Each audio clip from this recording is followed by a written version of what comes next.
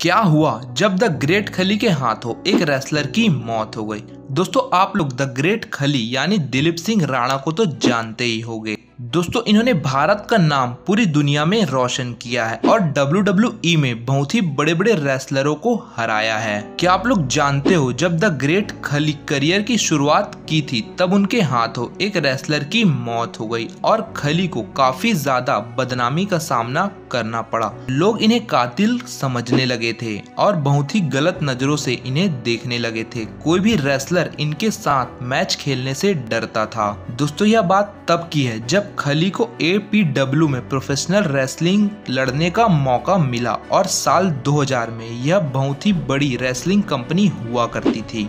साल 2001 में खली एक रेसलर द ब्रांड ओंग के साथ मैच खेल रहे थे। तब खली के हाथों इनकी मौत हो गई। यह वक्त उनके जीवन का बहुत ही बुरा वक्त था। इस हादसे के बाद खली को बहुत ही ज़्यादा बदनामी का सामना करना पड़ा और कोई भी बड़ा रेसलर खली के साथ मैच खेलना नहीं चाहता था। उन्हें कोई भी मैच के लिए, खिलाने के लिए ऑफ़र नहीं कर रहा था। तो भी खली ने हार नहीं मानी। वह चाइना और जापान में होने वाली रेसलिंग लीग में खेलने लगे थे। इस हादसे के कुछ समय बाद पता लगा कि द ब्रांड ओन रेसलिंग के लिए फिट नहीं थे, जब उन्हें खली के साथ मैच खेला था।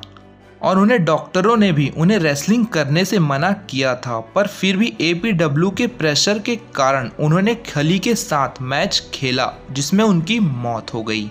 इस बात के सामने आने के बाद लोगों को पता चल गया कि इसमें खली की कोई भी गलती नहीं थी। फिर उसके बाद खली अपने करियर में बहुत ही आगे बढ़ते चले गए और उन्होंने बड़े बड़े रेसलरों को हराया। और आज खली को उनकी रेसलिंग की वजह से पूरी दुनिया जानती है। दोस्तों, आप लोगों को वीडियो अच्छा लगा तो वीडियो को लाइक ज़रूर कर देना और हमारे इस चैनल पर नए हो तो चैनल को सब्सक्राइब ज़रूर कर देना।